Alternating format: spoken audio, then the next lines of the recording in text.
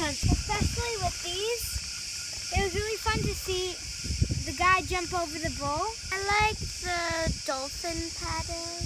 Ah, why do you like that? Because it was really colorful and it the drawing was simple, but it but it looked really pretty.